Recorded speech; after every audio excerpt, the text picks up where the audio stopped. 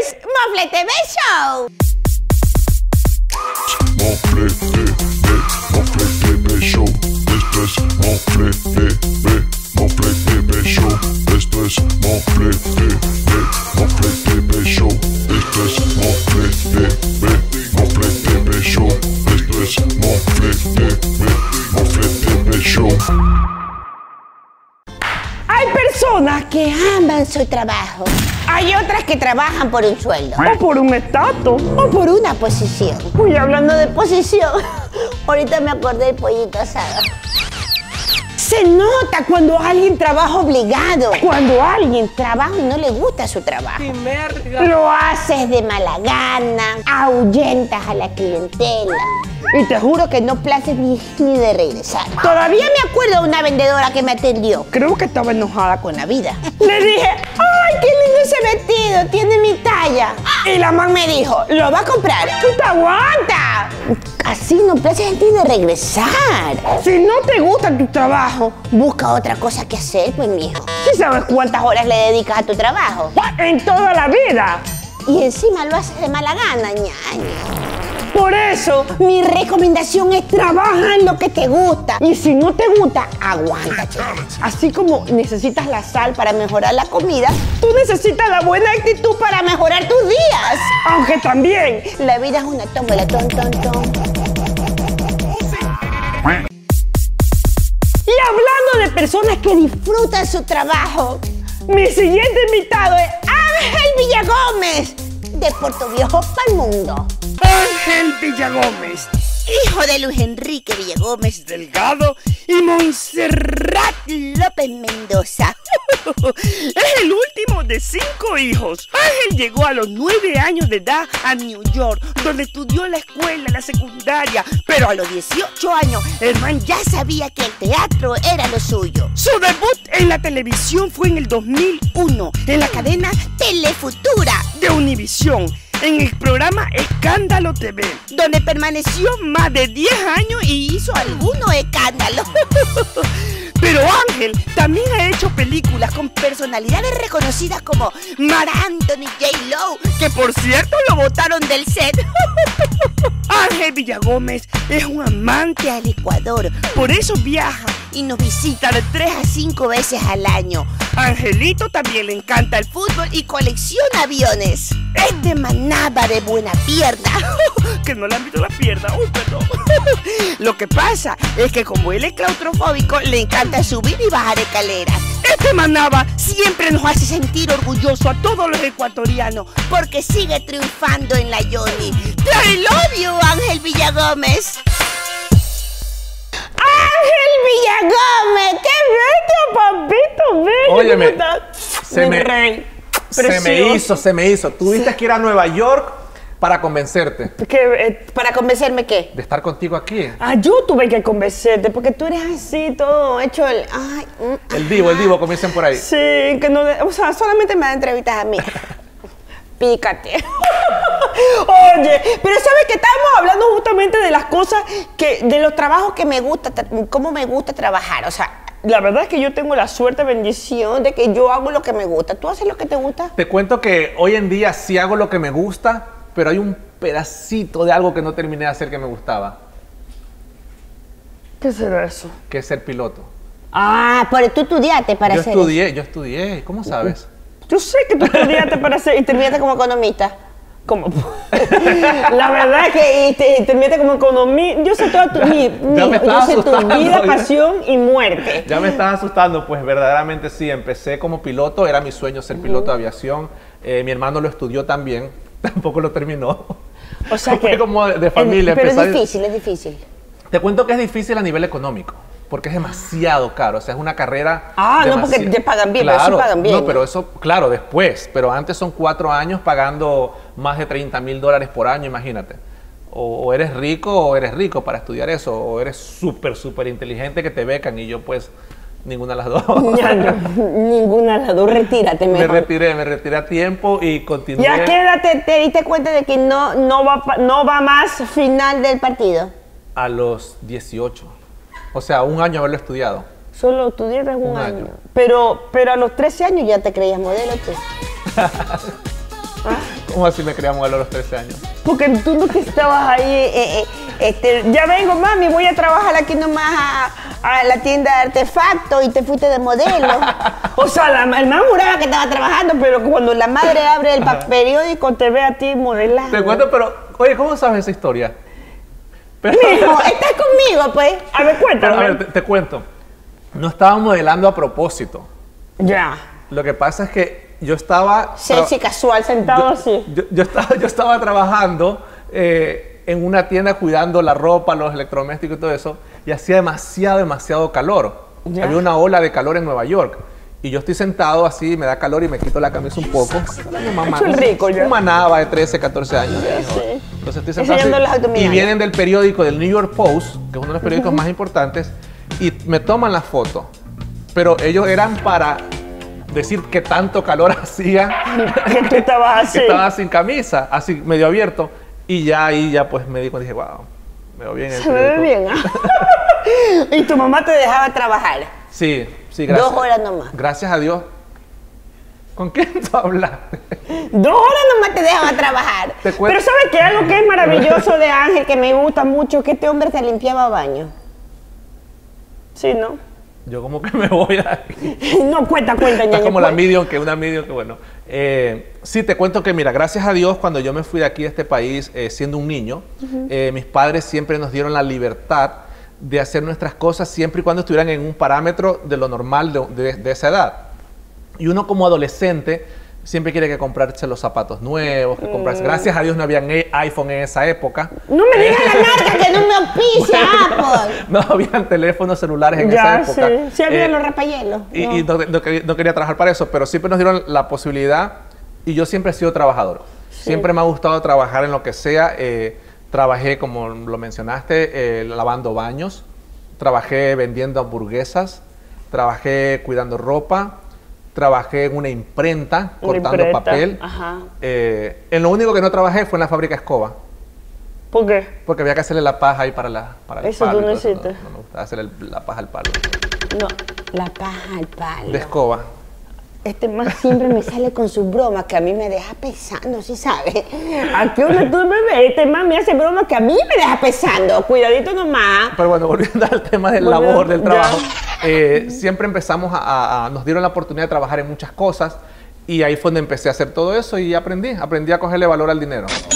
Pero desde chiquito, ¿a tu mamá a qué edad se fue a, a Estados Unidos? Mi mamá, se- ¿a qué edad tenía ella o a qué edad Tú, tenía yo? tú. Yo tenía nueve años, iba a cumplir 10 años cuando me fui a Estados Unidos.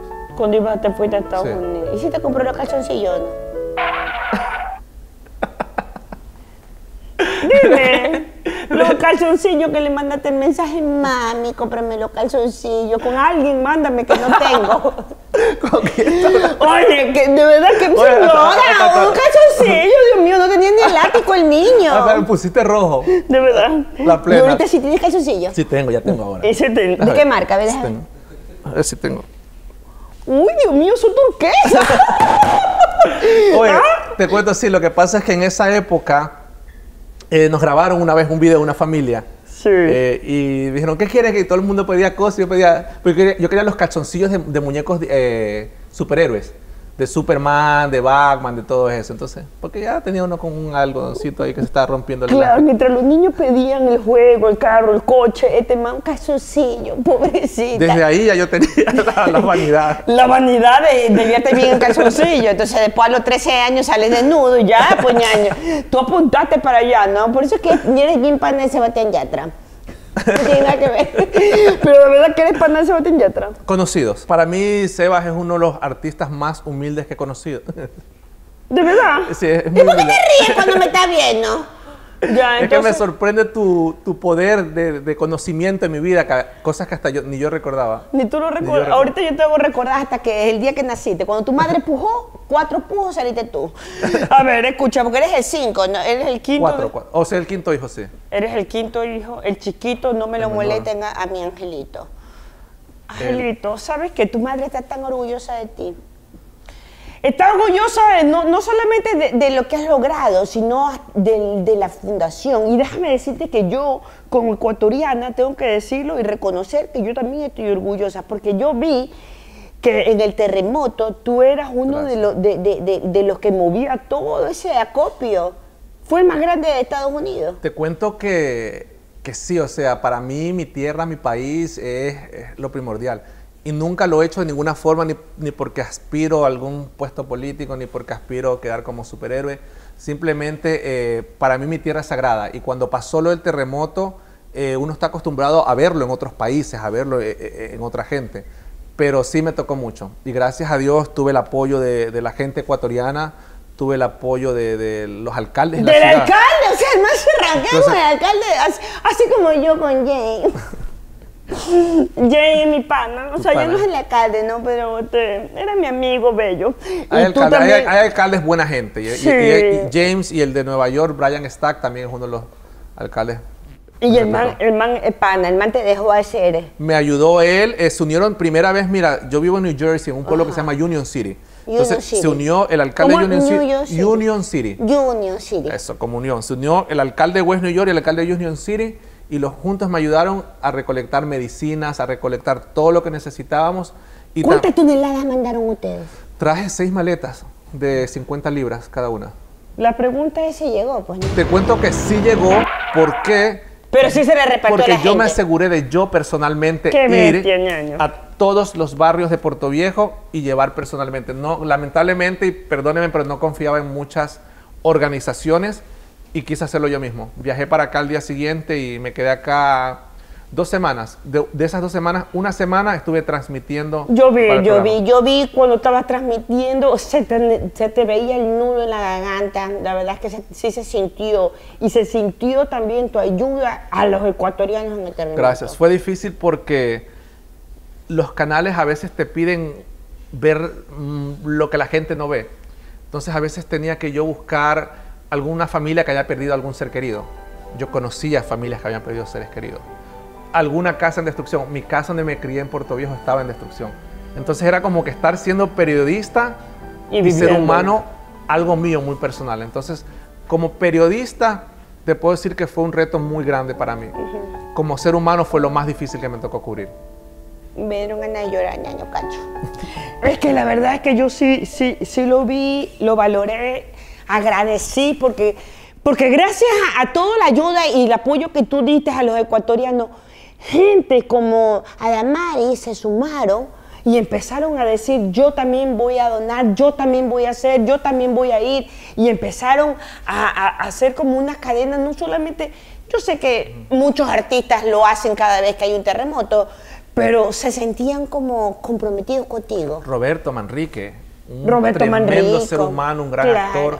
Eh, acá nos unimos también, hicimos una recolecta con él. acá. Danilo Carrera Danilo también. Carrera también formó parte de eso. Creo que todos los, los ecuatorianos dejamos cualquier tipo de, de- de diferencias que hayamos tenido y nos unimos en ese momento para nuestro país. Con lo del paro, Con que tú ya te venías y que te cancelaron. Te cuento que fue otro episodio como ecuatoriano en el extranjero que me llegó bien fuerte y tuve que organizar otra vez, pero esta ocasión organizamos una vigilia por la paz de Ecuador porque aunque estemos acostumbrados a ver millón cosas en las redes sociales, el ver las imágenes de los saqueos, el ver las imágenes eh, de personas heridas, yo decía, Dios mío, ¿qué le está pasando a mi país? Y me, me llegó también, me llegó y me llegó el dolor de ver personas humildes que habían trabajado toda una vida para tener un pequeño negocio y que vengan, Cuatro maleantes. no quiero usar la palabra, Es que eran ñaños, es que estos eran disfrazados de, de, de, de- ¿cómo es que se dice lo- los que salieron a- de protestantes? Pero no eran No lo eran. protestantes, ñaño, ahí había de todo. o sea, todos los delincuentes salieron, ya, somos de... ñaño, esto fue un saqueo a la patria, La verdad movida. que sí, la verdad que sí, y te digo, eh, nos dolió mucho a todos los que estábamos allá.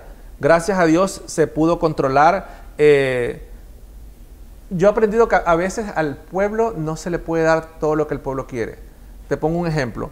Cuando empezó estas negociaciones, la gente que pare la paz, que, pa- que pare la, guerra, que pare la pelea, viene nuestro presidente, digo nuestro presidente porque soy ecuatoriano y, pues eh, Lenin es nuestro presidente, y cede.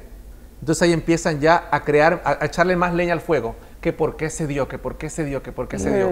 Y estoy en contra de ese tipo de, de- de leña que le echan en las redes sociales porque creo que lo importante es que paró lo que Que estaba pare, sucediendo. exacto. Que pare lo que estaba sucediendo. Y creo que también, eh, Mofle, hubo un poco o mucho desinforme de la ciudadanía. Muchas personas creo que eh, repetían lo que leían y eso generaba a que hubiese más problemas. Que si la gasolina subió el doble, todo va a subir el doble y no es así. Obviamente va a subir, pero yo creo que para que un país avance, las cosas tienen que subir. Lamentablemente las personas van a decir, ah, si tú hablas porque tú vives en Estados Unidos, porque tú ganas bien, porque estás cómodo. No, yo tengo familia en Ecuador y yo sé lo que mi familia sufre, yo sé lo que, lo que mi familia va a subir, va, a sufrir si sube la papa, si sube el verde, pero lamentablemente es un proceso que hay que vivir como país. Entonces creo que ho- hoy en día, y, y mi sugerencia, mi humilde sugerencia a toda la, la- la- la gente aquí en Ecuador, es que nos informemos un poquito más de qué son los cambios, de qué es lo que va a cambiar verdaderamente, en cuánto nos va a afectar que la gasolina suba hasta cierto punto y lo más importante, en cuánto nos va a beneficiar, porque para que te beneficie algo tal vez tienes que pasar por un- algo que te afecta al principio. Entonces yo creo que eso es bien importante, que antes de, de dejarnos llevar por las redes sociales, que nos informemos un poquito. La gente quería crucificar a los periodistas ecuatorianos. ¿Por qué no sube esto? ¿Por qué no sube aquello? ¿Por qué está? Porque había una ley de excepción que no podías subir cosas si no era autorizada. Entonces, lamentablemente, la, la ciudadanía no estaba informada de eso. Y creo que antes de criticar o antes de crucificar a alguien, hay que informarse. Exactamente, qué buena recomendación porque la verdad es que es así. Uno tiene que informarse, no es que, ay, subió, Dios mío, subió. Y empieza, y empieza en Oye, el, el subían, caos. subían imágenes de saqueos de hace 10 años atrás y los hacían creer que eran de ahora. Subían videos en las redes sociales de balaceras de hace 15 años atrás.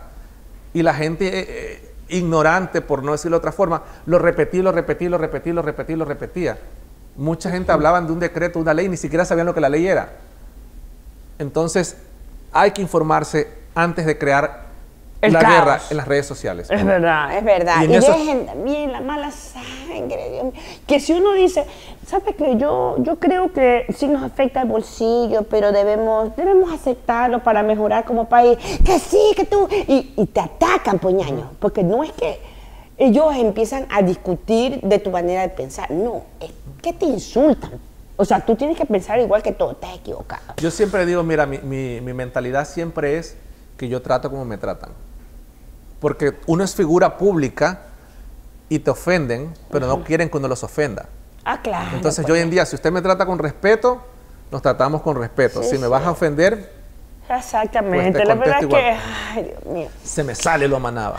Se te sale lo manaba y a mí se me sale lo guayaca. Y yo sé que Lita te hacía un encocado de pescado maravilloso y que tu abuelita te hacía un seco de pollo espectacular. Tu abuelita Gerandina, Gerandina, Genoveva. Genoveva.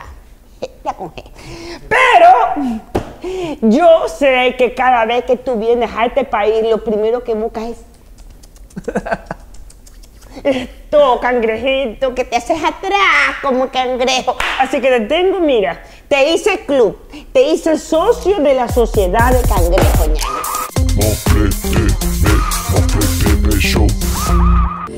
¡Wow! Segundo año consecutivo. Muchísimas gracias por este premio al ITV. Gracias a todo el público que votó, que, que me dio su voto. La verdad es que estoy inmensamente agradecida con todo el equipo de trabajo. Cuando uno hace las cosas con amor, cuando uno hace las cosas con, con ganas, se nota. Y yo creo que este es el mejor reconocimiento que me pueden hacer en vida. Gracias a toda la gente eh, por, por seguirme. Suscríbete, es gratis. Un beso para todos y ¡woo! vamos por el tercero. A seguir trabajando. Amazing Tour Travel Group. Somos una agencia de viajes con amplia experiencia. No vendemos viajes, brindamos experiencias únicas e irrepetibles en familia. Nuestros clientes satisfechos son nuestra mejor carta de presentación. Te llevamos donde siempre quisiste ir. Somos Amazing Tour Travel Group. Cumplimos tus metas, cumplimos tus sueños.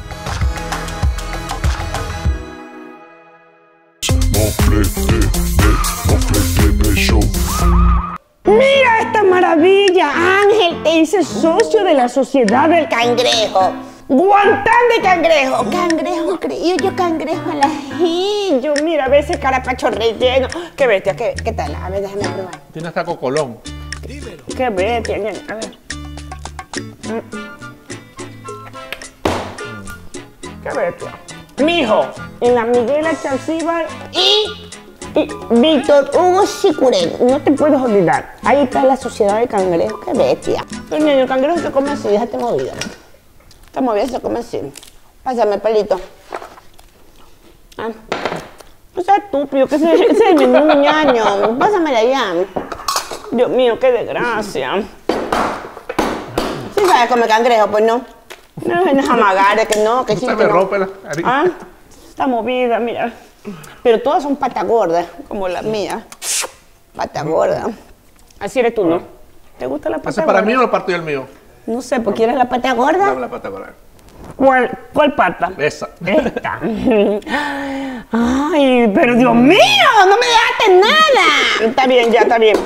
Ya, cómete, cómete algo, cómete algo. Y después hablamos del bajativo. ¿Cómo bajas la comida? Yo he visto un trago que tú das aquí. Mm. Un coctelito. El mejor bajativo, aparte de pegarte uno bueno. El Private Bar. Private Bar para tú, Óyeme, Angelito. he visto esto en tus programas. Sí, yo sé. Y yo dije, tengo que probarlo. Te- yo sé que tienes que probarlo y te lo vas hasta llevar. Ah. Es fantástico. Se me están ocurriendo un poco de cosas que hacer con esto. es Déjame probarlo. No tiene gripe, ¿no? No. Mira, qué lindo que eres. Me encanta tus ojos, tu pestaña. Te has casado dos veces. Con tu compañerita del colegio que no entendí esa historia. ya. Y, y con, y con la quiteña. ¿Qué pasó ¿Con quién hablaste? Como? Cuéntame qué pasó ahí. Bueno, pues te cuento que creo que las dos fueron por inmadurez. Fueron por inmadurez. ya. La primera fue a los 20 años aproximadamente. Ya. Duramos año y medio Casado. casados. Ya. Eh, de ahí quise vivir la vida libre, disfrutar. De ahí me tocó un momento que dije, ya estoy listo para tener familia. Quiero como que sentarme un poco, estar más tranquilo. Lo hice, sí estaba enamorado, pero más por el, el- el querer tener una familia. Estuvimos cinco años casados, no funcionó Con la quiteña. con la quiteña. Ya. Y entendí y aprendí que no todo el mundo nace para estar casado. Y tú no naciste. Yo no nací para estar casado. De verdad. De verdad, de verdad. Pero a cada rato. Pero para eso no hay que estar casado. Basta. Y, y aparte, y aparte puedes variar el menú. Ah, o sea que tú eres pillín. Casado tienes que comer el mismo plato todos los días. Es verdad. En cambio, soltero, ¿Qué pasa? puedes Soltero. ir de restaurante en restaurante. Ah, ya, ves el menú. No te gusta la comida y no vuelves a comer ahí, comes acá. Te gusta acá, repites acá. Haces canje aquí, haces canje allá. Este sí que es atrevido, el muchacho miércoles este. Cuéntame, de todos los artistas, porque yo sé que tú eres el, el referente de todos los reporteros de farándula, porque ñaño, tú te, te has rankeado no solamente con los artistas latinoamericanos, tú eres de las grandes ligas, pues. O sea, tú has entrevistado, Jennifer López se dio el lujo de, la, de barajarte, te, te me vas, ecuatoriano, te me vas. Ah, después te pidió disculpas. Después me pidió disculpas. Sí. Tú sabes que lo que pasa es que, mira, te cuento algo. Yo originalmente me inicié como actor en el teatro en Nueva York. Eh, y de ahí fui escalando, escalando a llegar a la televisión. Un día me llama mi agente, porque yo tenía un agente que me buscaba obras de teatro, películas y todo eso. Y me dice, tiene, ya yo trabajaba en televisión. Me dice, te conseguí un papel en una película donde vas a ser un, un mesero, un bartender en una discoteca. Y tienes tres o cuatro líneas. Las líneas mías eran al actor principal, yo le decía, el mismo trago de siempre. Ok, eso era lo único como que yo tenía que decirle. Y te pagaba bien, nene. Claro, fueron, ¿Cuánto, fueron cuánto? tres días de trabajo, por cada día me pagaron 700 dólares. O Esa madre, ya yo no sé la que 2100 me por puedes tres días. llevar ahí, y, y eso era considerado Méteme extra. ahí, méteme ahí. Eso era considerado ser un extra, un relleno. El primer día que yo voy, todo bien, se graban las tomas de apoyo, todo esto. El segundo día que me tocaba hacer mi, mi escena ya directamente con, con Mark, que era el papel de Mark Anthony, Mark de Héctor. Héctor Lavoe, Eh, yo no sabía que eran ellos. Ah. Nunca O sea, ¿cuál- ¿Qué película estabas el haciendo? El, The, cantante. The Singer, Héctor Lavoe, sí. Entonces el cantante Pero en español tenías que decir. en inglés. Madre, consígueme en español, mijo.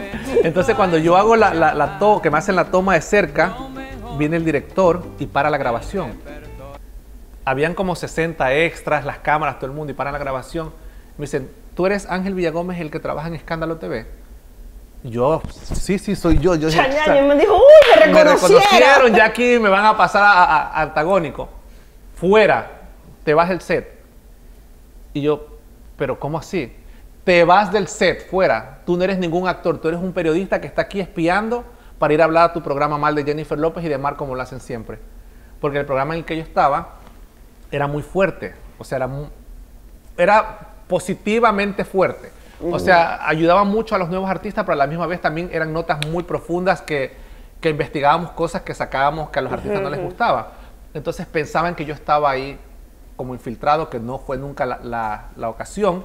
Yo llamo a mi productora ejecutiva del canal y le digo, me acaban de votar. Yo preocupado, me voy a meter en un problema en el canal. Me, a- digo, me acaban de votar de la película donde está Jennifer López. Me dice ella, vas en vivo mañana en todos los programas hablando de eso. Y yo, Se jodió todo. salgo quedó yo, como puerca.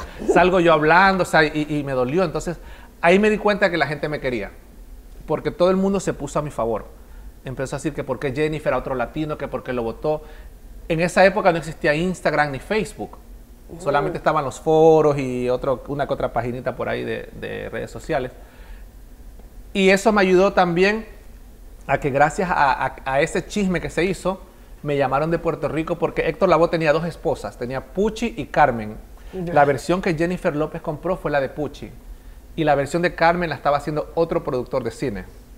Entonces como Te para, llamaron a actuar allá. para ser Héctor Lavoe Jr. Entonces terminé como un papel más importante. ¿Qué sí hiciste? Sí, claro. Está, está en YouTube. En YouTube la puedes buscar. YouTube, yo tuve que buscarlo. De ya, entonces, y ahí te pagaron más de 700 dólares. Sí, ñaña, pero solamente llegó hasta YouTube. Ahí se quedó en YouTube la pero te película. quedaste famoso. ¿Y Jennifer López por qué te dijo? mandaron un comunicado de prensa. Mandaron un comunicado de prensa diciendo que nada, nada de lo que había pasado tenía que ver con la producción. Cuando la producción era ella, porque ella era la productora ejecutiva de la película. Entonces trataron como de apaciguar las cosas. Llegó la presentación de la película, el screening de la película de ellos. ¿Y a quién tú crees que manda el canal? A tú, pues. A mí a entrevistarlos en la alfombra roja. ¿Y qué te dijo? Nunca pasó nada. ¿Cómo estás? Sí, qué chévere. un ¡Hipócrita! Ya, entonces. Pero es show business. Está bien, es está bien, es show business. Ya. Hoy día nos llevamos bien, o sea, no es mi ñaño, o sea, no es que la llamo, pero si nos vemos en un evento, si hay una cordialidad, un respeto, igualmente con Mark. Si te saluda. Sí. ¿Y si tiene la nalga así como la mía? Sí tiene la nalga. igual de falsa la. No, mentira. No, no, sí, ¿Qué sí, dijo sí, este sí man? tiene. ¿Qué dijo? Igual de falsa, dijo. Estúpido, la mía verdadera. Yo no tengo, mira, ve. Pero sí tiene la nalga como Sí, la sí, mía, redonda. Sí tiene buen cuerpo, Jennifer. Oye, escúchame, pero la cerecita del pastel De está súper agradecido contigo porque dice que tú eres una persona bastante humilde, bastante bondadoso, porque normalmente toda la gente es, es- es celoso su, su trabajo y tú le conseguiste con la talía. Talía. Te cuento que eso fue algo gracioso porque siempre que veo en YouTube Mofle TV, después me aparecen otros programas, pero siempre veo Mofle TV Sí, yo primero. sé, si siempre Entonces, me manda fotos. me- apareció un, pro- no un puedo programa. casarme. Me apareció un programa de aquí en Ecuador donde lo estaban entrevistando a él. No lo conocía, no tenía el placer de conocerlo personalmente, pero veía las redes sociales de, de Miguel Cedeño, la Cerecita y todo eso. Y le pregunta la, la- la entrevistadora que cuál era su sueño. Y él dice que su sueño antes de morir era entrevistar a Talía. Y se me quedó eso a mí en la cabeza y dije, bueno, algún día quizás esté en mí ayudarlo. De momento, meses después, me llama eh, una amiga que trabaja en HBO. ¿Se puede decir HBO? HBO, sí, HBO, baby. Que estaba produciéndole la alfombra roja a la premier de una serie de Talía en este canal. Y me dice, Ángel, tú que conoces prensa, necesito saber cuáles son los medios más importantes que debo traer para acá. Entonces, obviamente, le dije a algunos colegas y todo eso, y me acordé de la cerecita. Y le dije, óyeme, ¿será que puedes llevar un medio internacional? Y me ella, bueno, no nos llama la atención mucho porque esta serie no se va a dar en Ecuador. Pero si tú me lo pides, o sea, humildemente, me dice, lo hacemos. Entonces ahí llamé a un amigo acá en Ecuador para que me consiguiera el teléfono de Miguel. Lo llamo a Miguel. Le digo, hola, soy Ángel Villagómez, que no sé no sé cuánto. ¿te interesa entrevistar a Talía? Y pensaba que era una broma. Dice, no, le digo, me dice, ¿cuándo? Le digo, la próxima semana. Me dice, ¿pero es en serio? Le digo, sí, es en serio. Dime nomás con quién tú vienes y haces la entrevista. Y hasta el día, dos horas antes, ya estándole en Nueva York, Ángel, es en serio, estoy en Nueva York.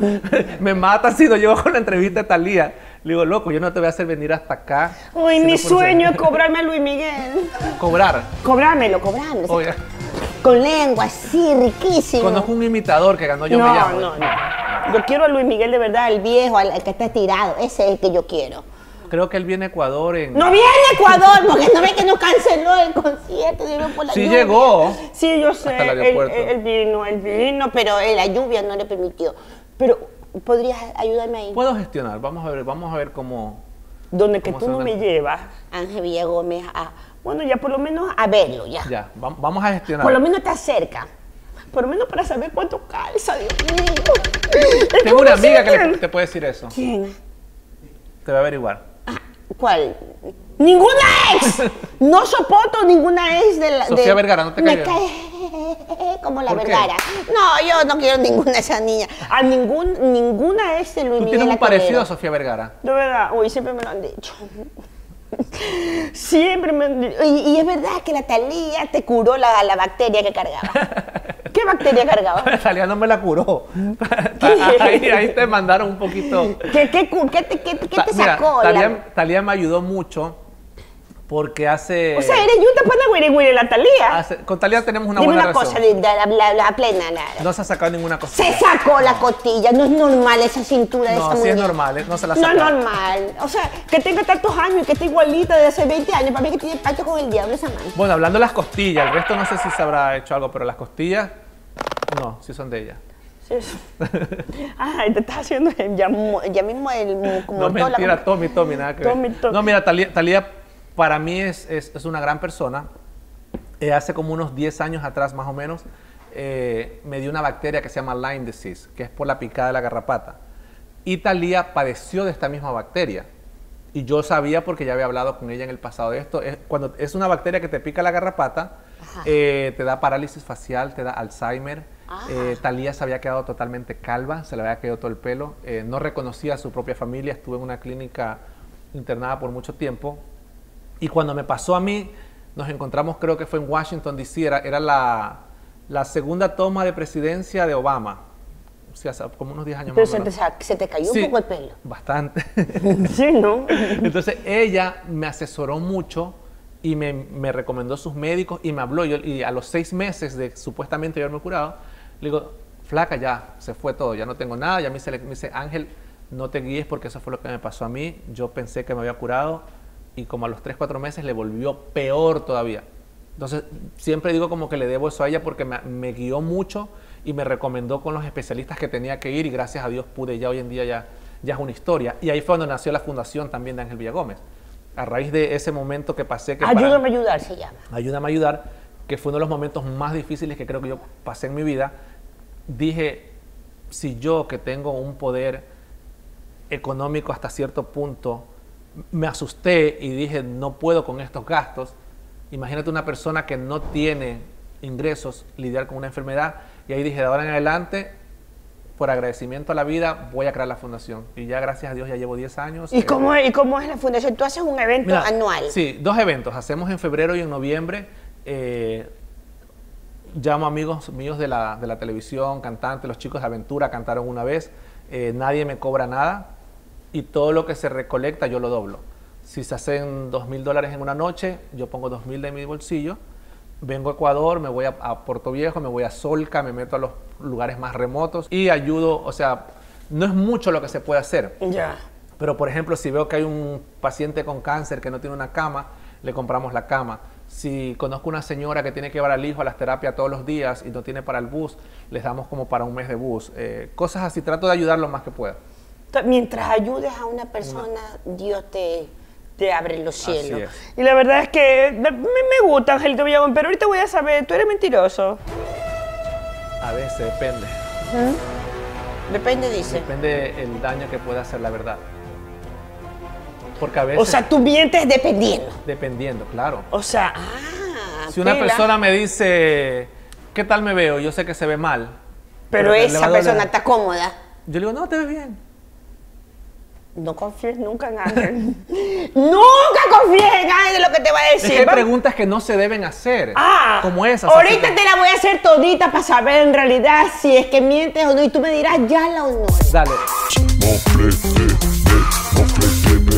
Estoy feliz porque ya sé qué ponerle a mis hot dogs, a mi cremita, a mis ensaladas. Potato sticks de Chris. Ay, para los que no saben inglés, es palito de papas de Chris. O sea, de Mani Chris. Ay, tú simplemente lo abres y... mm, solito. Genial. Te lo puedes llevar en la cartera como un, un snacks. Disfrútalo. Anda a comprarlo ahorita. Está buenísimo, mío. Con esta foto voy a ser la reina del Instagram. Porque yo soy la reina de los likes de Instagram, Twitter, Facebook. Porque yo. ¿Qué? ¿Tú también quieres serlo? Ya, pues. No, no te piques, hazlo. Contrata tu paquete prepago chévere de 5 dólares que incluye un giga por 30 días. Escúchalo. Actívalo ahorita mismo en tu punto claro favorito. Hoy no envidies.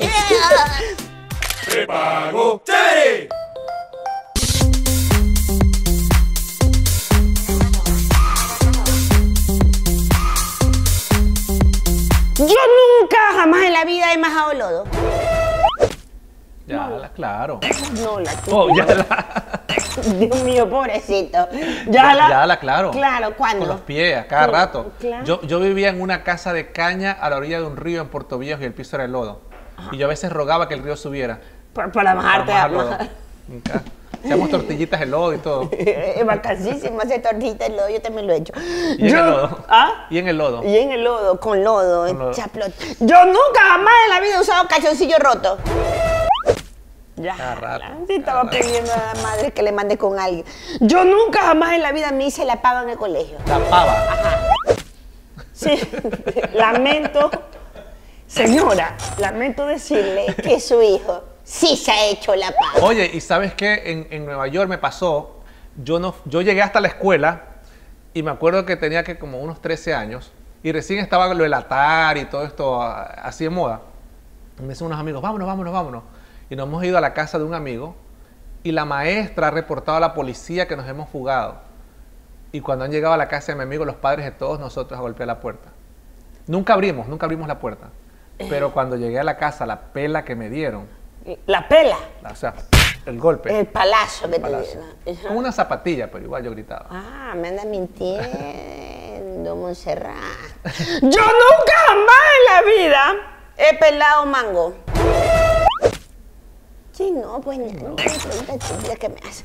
Yo nunca jamás en la vida me he peleado con ningún famoso. ¿Quién? A ver, ¿quién? ¿Cuál? Don el Omar. El Don. Pero fue una pelea suave. Ya, ya, Simón.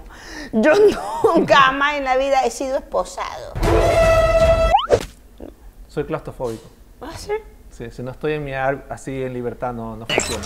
Yo nunca jamás en la vida he dado o he recibido nalgadas. ¿Has dado o has recibido? Las dos. ¡Yo! Yo nunca jamás en la vida he cabalgado en la noche. Define cabalgado. No, no, no, no, No, la. En la no, no. no, He visto cabalgar, pero yo no he Ya. Yo nunca jamás en la vida he vacilado con una mancita solo por la noche. O sea, por el día. Oh, oh. Eso sí. Yo nunca jamás en la vida me he hecho cirugía plástica. Sí te has hecho, con razón ya decía yo que este hombre se saca la madre disque trotando, pero traga como que no hubiera mañana y que esté flaco así. No, no, mira, lo- Dime la verdad, ¿qué te hiciste? La nariz. Injerto. La nariz. Ajá. Pensé que te habías injertado alguna cosa. No, la nariz, la nariz. ¿Qué te hiciste? Me tenía el huesito aquí que no me gustaba y me lo operé. Me lo operé aquí en Ecuador. Ya, ¿y, y la panza? ¿No te hiciste la lipo? Di la verdad, ya no, no mientas. Un poquito, pero volví a engordar y ahí volví a bajar ya por mis propios Ah, méritos. pero te hiciste, de que te hiciste, Sí, te sí, hiciste. nariz y lipo el mismo Yo día. nunca jamás en la vida he hecho un subgrupo del grupo. Sí. En mi familia tenemos uno que estamos todos, otro que estoy yo, mi hermana y mi hermano, otro que estamos mi mamá y dejamos una hermana afuera. de la que siempre hablamos. Y a veces nos Y la equivocamos. hacen leña, una sola, el otro no se enteró. Me encanta esa familia. Yo nunca jamás en la vida me he ido sin pagar una cuenta. Consciente o inconscientemente. Puto, dígalo ahí. Yala. Consciente o Sí. inconscientemente. Ahora dime Inco- tú. pues. Inconsciente, inconscientemente en discoteca. ¿Qué, qué casualidad. Y qué, aquí, aquí. qué beneficio olvidarte. Y fue pues, ¿no? aquí, fue aquí en Ecuador, se me olvidó, pero lo peor de todo es que había dejado mi pasaporte. Y me tocó regresar al día siguiente a pagar por el pasaporte. Si no, no volvía. Yo nunca jamás en la vida he dejado de dar entrevistas porque me han metido en chisme. ¿En dónde te metieron? Aquí en Ecuador. En el. Mm, sup- en el jarabe de pico. Dile plena, Paula, me fuiste tú. Yo nunca jamás en la vida he tenido hongos en los pies. Sí, claro. ¿Ha tenido? Sí. Qué cochino. Lo que pica, ¿verdad? Sí. Sí. Sí, está. y, y es más rico rascártelo así. Claro, por, andar sí. en piscina sin zapatos. Es verdad. Sí, yo también he tenido, feísimo. pero Es feo y rico, Es sí. rico rascarse con el Eh. piso, o sea, Eh, eh. como perrito. Yo nunca jamás en la vida eh, me he hecho pipí en la piscina. Oh, sí. Qué cochino que eres, Ángel. Pero dejé de hacerlo ya, ya no lo hago, ya no lo hago. Me dijiste, lo hice en el pasado. Exacto. Pero desde que vi un documental donde decían que cuando el hombre orinaba en las piscinas, en los mares, se le abrían los huequitos y entraban por ahí, ahí animalitos, entonces como que ya me dio. Entonces, Yo ya- nunca ya no lo hago. en la vida me en el carro. Estaba esperando la pregunta. en el tren cuenta, En, en el tren. porque allá me cuenta. muevo en tren. Ah, también en el Sí, tren. claro. Ñaño, y en el Último estadio. vagón. En el estadio, en el estadio donde tú quieres. Dime la verdad. que se me confesaste el domingo. Yo nunca jamás en la vida he llamado a la prensa rosa a contar de mí para que hablen de mí. No, No, no. Ni aquí ni allá. ni aquí ni allá. Pero has sido titulares tú de alguna, de algunas revistas de por allá. Sí, pero no, nu- nunca, gracias a Dios no te dio la necesidad de llamar. Porque aquí déjame decirte que hay algunos que hacen dos escándalos por año para estar en auge. No, no. Incluso a mí no me gusta estar mucho en el escándalo. ¿Ah, sí? Yo nunca jamás en la vida he sentido envidia. Sí, sí he sentido envidia. ¿Cómo Sana. la controlas? No, no existe la sana.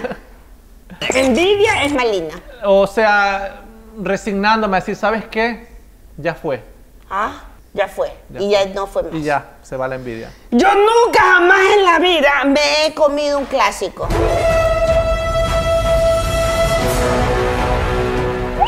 ¿Sí? ¿Clásico de qué? Clásico el astillero. Mani Cris, clásico. Esto así que tú ya la. Ya la, mil veces ya la con esto. Toma, mijo. Come, disfruta, disfruta, disfruta. A mí me encanta el japonés. Japonés, ecuatoriano, de lo que sea. El ecuatoriano me encanta porque es chúcaro. Mucho todo lo que lleva maní. Es verdad. ¿Mm? Y el verde te lo reventaron en la cabeza, ya no. Ah. La abuela una vez por estar hecho malcriado le reventó un verde en la cabeza. Por mal, es que yo bien malcriado niñito. Era, Era. ya no. Ahora soy malcriado con educación. Ah, ya cómo es eso. Sé ser malcriado, pero sin usar muchas malas palabras. Ah, mira tú. Oye, Ángel, una pregunta que todos nos- los ecuatorianos no- nos hacemos. ¿Es difícil llegar a la televisión en Estados Unidos? ¿Cómo llegaste tú? Te cuento, mira, mi sueño, como te había dicho hace un rato, era ser piloto de aviación. No terminé la carrera de aviación y terminé estudiando contabilidad. Me gradué de economista. Mi trabajo como economista e- era llevarle la contabilidad a un bufete de abogados en Nueva York. Pero toda la vida yo he sido tímido, aunque no lo creas. Se nota. Súper tímido. Un ejemplo. Si a mí me ponen a animar un evento en el Madison Square Garden, lo hago con mucho amor y pasión. Pero si me ponen a animar los 15 años de mi sobrina o la boda de mi hermana, no sé a dónde mirar, me pongo rojo, la nariz me suda, no me salen las palabras. Siempre he sido así de tímido. Parte de mi trabajo eh, como contador de esta compañía era todos los meses darle como una charla a los abogados, hablarles de los gastos, dónde gastaban, dónde tenían que cortar los gastos y todo esto pero nunca los miraba a los ojos. Siempre yo les hablaba y miraba para abajo, me ponía rojo, eh, me daba vergüenza hablar delante del público. Y un día mi jefe me llamó a la oficina y me dice, Ángel, mira, tú puedes llegar a ser el gerente de esta empresa si te lo propones, pero tienes un problema. No le sabes hablar a la gente, no tienes credibilidad, por ende no te van a respetar. Yo le digo, ¿qué hago? Me dice, te voy a dar un consejo. Estudia actuación. Métete en un curso de actuación como hobby unos 3, 4 meses y vas a ver que eso te vas a soltar y vas a perder la vergüenza. Ya, ya me solté demasiado. Te hiciste sin vergüenza. Entonces, el proyecto final del curso de actuación era una obra de teatro. Cuando hago esa obra de teatro, descubro que esa era mi pasión, la actuación. Me memorizaba los libretos de una noche a otra, los míos, los de los demás. Terminé de hacer esa obra de teatro, que era un proyecto estudiantil, y me empezaron a llamar a más obras. Hiciste como 20. Como 20 obras de teatro. Con muchos ecuatorianos como Cecil Villar, Franco Galesio, Sonia Villar. Sonia Villar. Eh, hicimos muchas obras de teatro hasta que un día estoy en una obra y me llaman, me va a ver un señor, no va por mí, va por una chica, un productor de Univisión, que fue el primer canal que yo trabajé. Termino la obra, salgo del, de- del teatro y este señor me estaba esperando afuera. Me dice, Ángel, ¿cómo estás? Mucho gusto, mi nombre es Luis Antonio, eh, soy productor de Univisión 41, voy a empezar un programa juvenil, estoy eh, buscando un presentador y tú eres lo que estoy buscando. Voy a hacer un ¿Y casting. qué es que te vio, pues? Entonces, el me, dice, me dice, voy a hacer un casting. Llego a hacer el casting. Habían como 100 personas, cámaras. Aquí hay 60. Sí, Ah, aquí como aquí hay 67. Allá había el doble. Ya. Me paniqué. Hice el casting, pero medio nervioso. No podía leer el teleprompter. Nunca en mi vida había leído un teleprompter. O sea, las letritas para la gente que nos están viendo, que salen por el otro lado de la cámara. Y me paniqué, hice mi casting y me fui. Como al mes empieza el programa en el que yo, yo no estaba. Ah, no me ¿Qué le pasó a la paloma que y Yo dije, abuelita? yo dije, no funcionó. No. A los tres meses de pasar eso, me llaman de Miami. Y me dicen, hola Ángel, ¿cómo estás? Mira, vamos a empezar un programa en Univisión que se va a ver en 20 países, en Europa, en todos lados. Se va a llamar Escándalo TV con Charitín, Felipe, Marisa. Y estamos buscando un corresponsal presentador en Nueva York. Nosotros llamamos a Univisión local para que nos recomendaran a alguien y ellos nos mandaron la prueba- reel. mi reel que yo había hecho. Y nos encantaste, empiezas la próxima semana. Y ahí cambió mi vida. Así veo, pues. Ya al mes ya la gente me conocía porque acuérdate que no habían redes sociales. ¿Y, y qué te dijo el, del- el abogado? El del abogado. No, más nunca lo vi. Nunca lo me fui, como a los 6, 7 meses me fui a ese trabajo y ya han pasado 17 años. Pero le agradezco muchísimo que si no me hubiese inspirado a coger esas clases de actuación, Y se puede vivir de la televisión. esta- claro. Sí, pues ñaña. Claro, ñaña. O sea, vivir Sí, y morir, se puede hacer Se todo. puede, sí. Gracias ¿Qué a Dios. quisieras hacer, Ángel? ¿Qué te falta por hacer? Terminar mi libro. Ah, ¿Estás haciendo un libro? Estoy haciendo un libro ¿De que qué? empecé a escribir como hace unos 6 años, autobiográfico. Y vas a hablar de mí, pero voy a, historia. voy a hablar de ti, pero es más motivacional. pero hay partes que escribo y digo, no, debería hablar esto todavía. Todavía Lo no. De la nalga de la Jennifer López Entonces estoy en ese debate todavía porque un gajo van a caer si yo escribo ese libro. Está bien, escríbelo. como, yo debería escribirlo. Entonces no creo que todavía estoy como para que caiga un gajo, ¿entiendes? Entonces, estoy Entonces, pero, pero vas a hacer, ese es un proyecto Sí, que sí, es un tienes. proyecto que estoy haciendo. eh, ¿La política te gusta? no. No, no te No. meterías en la política. No digo que no me metería porque no sé dónde esté yo en 10 años, pero hoy en día eh, no es algo que me llame la atención. Creo que todavía, porque mira, en Estados Unidos es diferente que en Ecuador. Por decir, en. Estados Unidos el momento que yo decía lanzarme a la política, mi carrera en la televisión tiene que morir. No es que me voy a lanzar para asambleísta, no gané, regreso al programa. No, no funciona ya así. En el momento que ya yo me lanzo a la política, hasta ahí llego en televisión. Y siento que todavía puedo dar unos Pero años el Schwarzenegger todavía hace películas. Pero no hace televisión, es diferente. Yo puedo hacer películas, autoproducirme yo mismo y hacer mis películas y todo, Mm. pero no una, en una empresa como yo estoy ahora, ¿entiendes? No puedo ser empleado de un canal siendo político. Claro, no, puedo, obvio, no puedo sí. hacerlo. Pero creo que me gusta más el hacer cosas sin estar en la política, como lo de la fundación, como lo de cuando pasó el terremoto, todo ese tipo de, de- de- de unir la comunidad sin meterme en la política. Pero por supuesto, si tú eres el ángel de todos esos niños de la fundación, está perfecto. Y uno puede ayudar y hacer más desde su punto, desde su, desde su trinchera, como se y dice. me gustaría venirme a vivir a Ecuador también. Ay, Ángel. de verdad. ¿A juro, dónde? A Puerto Viejo. A Puerto Viejo. Puerto Viejo. Soy, como te digo, vivo muchos años fuera, pero mi sueño es ese. mi Me, sueño- me encanta que tú jamás te desligas de- de- de- del Ecuador, siempre estás pendiente, siempre estás opinando de la política, de lo bueno, lo malo, lo que... Aunque a veces me, me crucifican ahí, pero creo Pero que... está bien, a todos nos pasa, ñaño, porque tú defiendes a uno, defiendes a otro, igual te pasa. Yo no estaba con Lenín, pero digo que está haciendo bien su trabajo, pero igual Y lo me está da. haciendo. Está haciendo bien su trabajo. Haciendo a. César lo que hay de César. Si no te gusta, no te gusta.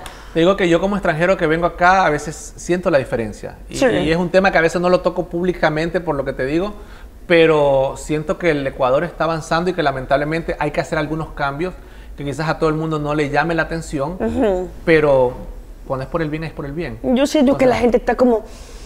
Loco es el que tenemos nosotros allá, ¿A dónde? en Estados Y Unidos. nosotros allá en el ático. Es el. Bueno, este, gracias, Angelito Villagómez, de verdad, you I love you Gracias. forever. I love you forever. O sea, me encanta que él haya venido súper regio solo para mi entrevista. Vine a grabar contigo y ya el avión ya está a punto de despegar. Tengo que Que que tienes que Gracias. irte corriendo. Y gracias. ¿Me empacaste el cangrejo? Sí, mijo, te empaqué todo. Gracias por, por todos los los- los- regalos que me trajiste. Una barbaridad de regalos Espero que te me quede todo lo que te gustó. Sí, la verdad que el traje de baño, el triquini, ojalá que me quede, porque lo veo como chiquito. Y entonces me viste ahí y dijiste, uy, esta muñequita entra aquí, pero está chiquito. ¿Qué es ese? Es muy chiquito. Es que, es que ese no es traje de baño. Eso era para la cabeza, es un gorrito. ¡Ah! Dios mío. Bueno, vamos a ver dónde lo uso. Gracias, Villagómez. amor, gracias. Te love you forever I and ever. Y te espero en Nueva York. La gente se quedó picada, que vuelvas con más. Señores, tiene que volver a Nueva York próximamente Sí. porque se llenó eso ya. Ñaño, voy a estar 2020. Nueva York, New Jersey, ¿dónde más me quieren llevar? Rica, Granoble, oye, ya. Oye, Granoble dice que tú eres su orgullo. Vamos a ver si me contrata ahora Granoble entonces. Contrátalo, pues, mijo. Cat- Gracias, mi gente de Nueva York Saludos. New Jersey. Aquí le mando mi corresponsal. Gracias. El próximo jueves no te pierdas la entrevista con esta amarillenta que estaba cansísimo. Yo nunca jamás en la vida he sido bagrera. Doble, doble. De verdad que es bagrera, sí. Sí, sí, sí, sí. O sea, gracias a Dios llegó el negro. Es que tú podías sacarle la leche, pues no, porque tenía yo lo vi de vaca. Ha sido dañada, Mofle. Yo nunca jamás en la vida en el carro.